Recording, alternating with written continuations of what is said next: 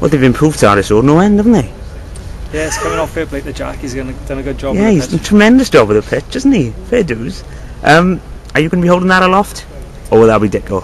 Uh, How's it gonna work? Hopefully it'll be Dicko to be honest. Uh, hopefully we'll be back out playing, but you know obviously far from picking the cup up at the moment. We've got a huge game Saturday now against Swansea. Um, you know it's going to be a tough test for us after, especially going back-to-back games with them. Um, you know we did what we needed to do in the league last week, but uh, you know we also appreciate this uh, completely different game this week. Um, be a completely different Swansea outfit, and uh, you know cup rugby as well. Um, as we all know, anything can happen on a day. Um, you know, we're lucky to be there after um, just scraping it up in Merthyr. But, uh, you know, we're prepared as well, well as we can now, and hopefully uh, we'll turn up and put a good performance on Saturday. Sincerely hope so. Um, it's it's hell of a promising season, Gar. But is it? Could it be a case of too much too soon? I mean, are we are we spreading ourselves too thinly? Are, are these the dangers we've got to face going into these this end of season now? No, I don't think so. You know, we, all we can do is just this stage of the year, just focus on the next game, and uh, the next game for us is, is you know the semi-final against Swansea.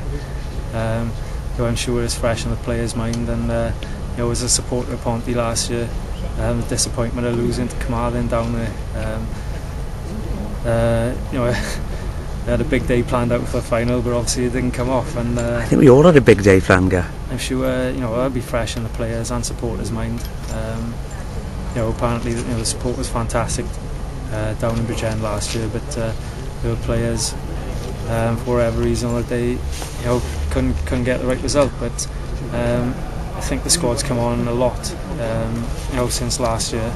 I think uh, the way they performed in the league this year has shown that.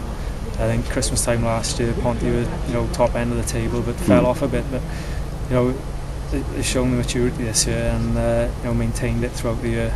Um, you know, it's great for the club to be involved in three competitions still. Uh, but like I said, you know, all we can do as players is take uh, the next game as it comes. Um, you know, there's no point looking forward to any other games. Um, it's a huge game for us Saturday. Obviously, if we can book ourselves uh, in for the final, um, you know, it'll be a huge weight off the players' shoulders, really. And your um, your team talk as as interim captain.